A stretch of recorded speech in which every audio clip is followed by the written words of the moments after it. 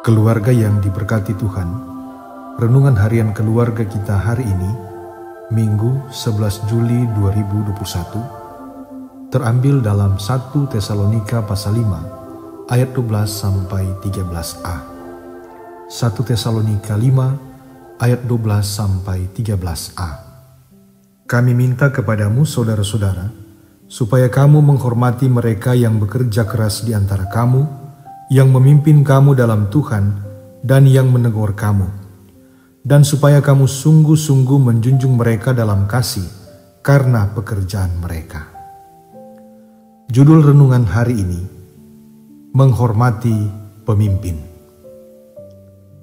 Dalam kehidupan bergereja, ada yang memimpin dan melayani anggota jemaat dengan sungguh-sungguh, bahkan bekerja keras untuk membangun persekutuan jemaat. Begitu juga di sektor pemerintahan dan swasta. Ada yang bekerja keras untuk mensejahterakan rakyat. Mereka ini patut dihormati dan dihargai. Bacaan hari ini, Rasul Paulus menegaskan kepada jemaat di Tesalonika supaya mereka menghormati mereka yang bekerja keras. Sikap menghormati adalah tindakan yang tidak melupakan kebaikan orang lain.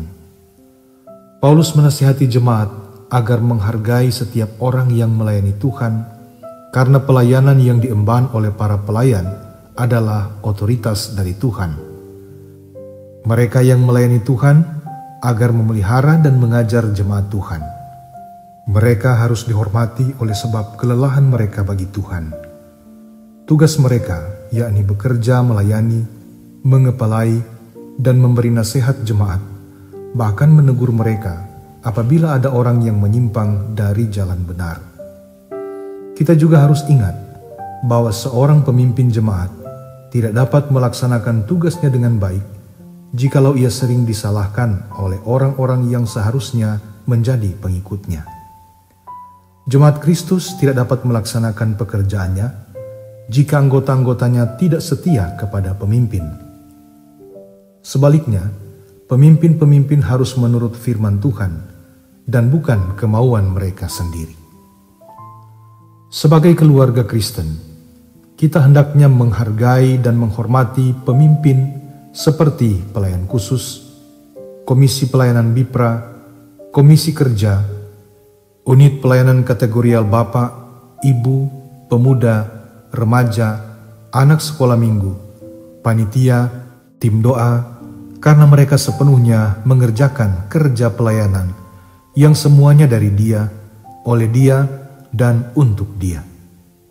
Bahkan bukan saja mereka yang memimpin dalam lingkungan gereja, tetapi pemerintah dan lembaga lainnya. Mereka telah banyak mengorbankan waktu, tenaga, bahkan kehidupan untuk Tuhan dan jemaat serta masyarakat. Amin. Mari berdoa. Ya Tuhan, Ajarilah kami untuk menghormati pemimpin kami yang selalu menegur kami pada jalan yang benar.